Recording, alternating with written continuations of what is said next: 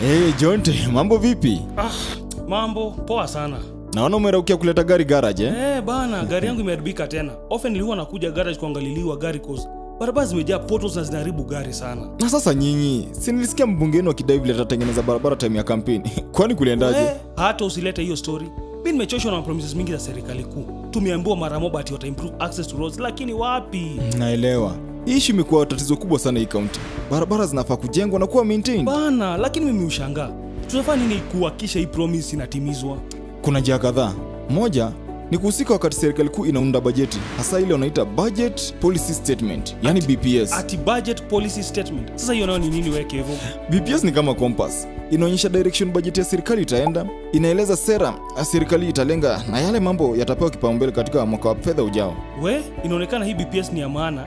Historia ya barabara inafaa ikuwe ya kwanza hapo.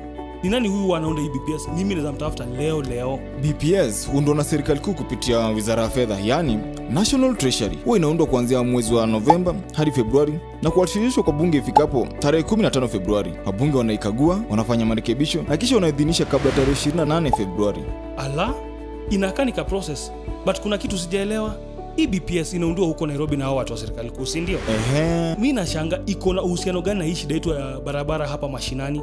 BPS inaangazia mambo mawili yanaweza tatua shida kama hii ya barabara. Kwanza, inaonyesha jumla ya fedha zitawekwa katika bajeti wa mwaka wa fedha ujao.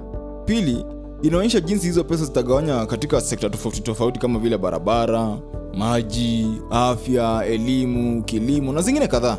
Na nikijua hii yote inaweza dai fedha za barabara ziongezwe. Kabisa. Ah, hiyo ina make sense. Na sisi tunaweza husika kwa huu mchakato kama wananchi.